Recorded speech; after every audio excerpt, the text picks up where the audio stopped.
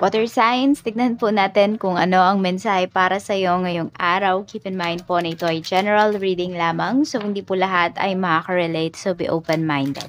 Sa mga hindi pa po nakasubscribe dito sa ating channel, please subscribe na po kayo.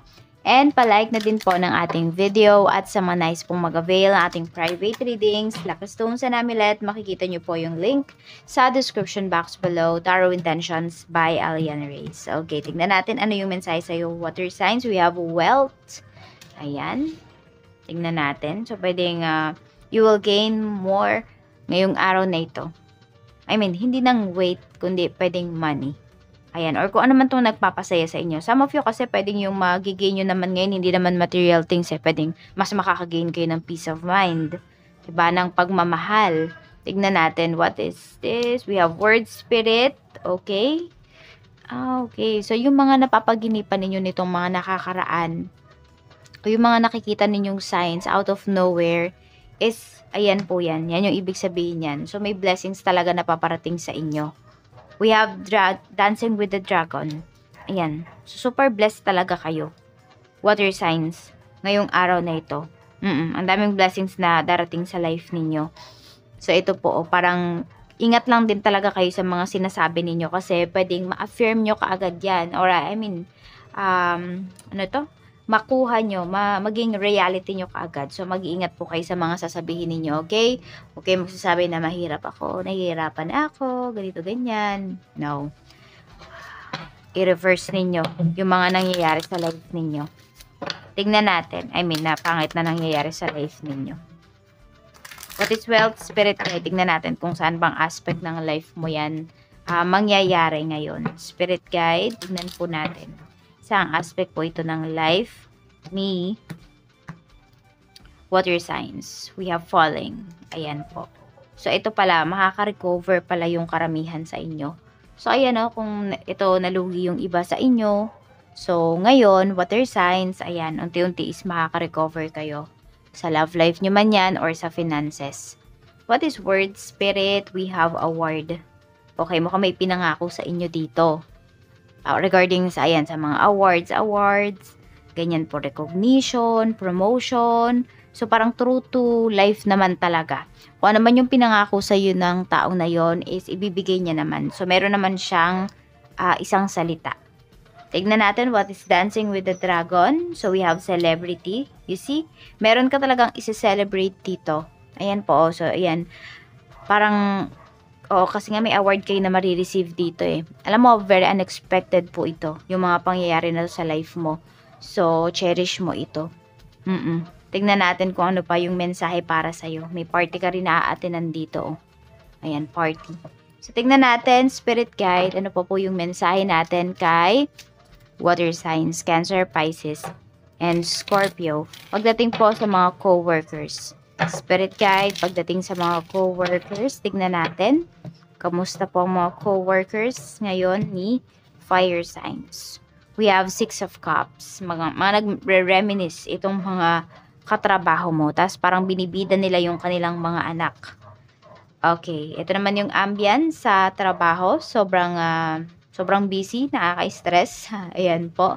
So siguro kaya sinasabi nila yung mga ito yung mga anak nila, yan parang pinup uh, pinopronta nila kasi nakakawala ng stress yan sa kanila. So, yung mga achievements ng mga anak nila, yan yung mga sinasabi nila.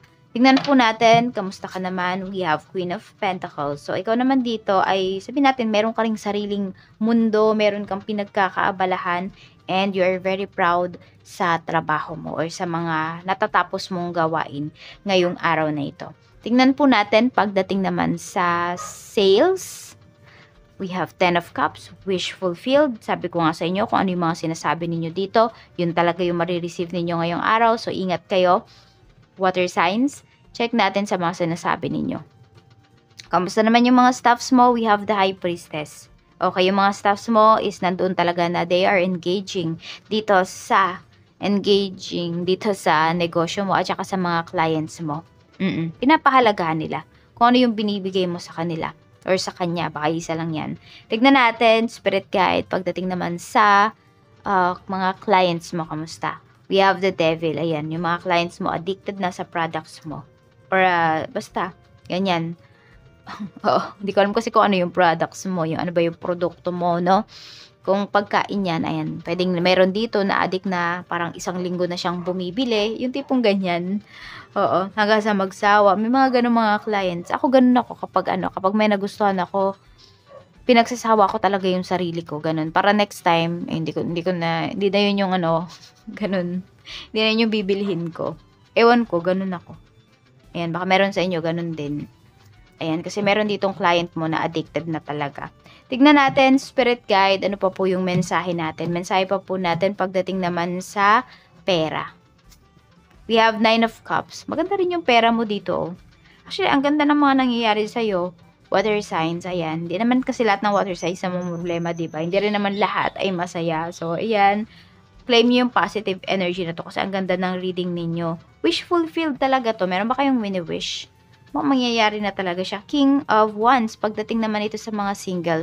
So, ito baka meron kayong nililigawan or meron kayong gustong ligawan. So, i-pursue nyo na. Ayan yung sinasabi sa inyo ni Universe. O, ba diba? Para hindi malamig yung Pasko nyo. Water signs. Tingnan natin pagdating naman po sa uh, mga in a relationship. Knight of Swords. Ayan. So, yung person mo, mukhang meron siyang desisyon ngayong araw na to na hindi niya sinasabi sa'yo, hindi niya sasabihin sa'yo. Parang mabibigla ka na lang. Ayan, mukhang may pagka-impulsive ito.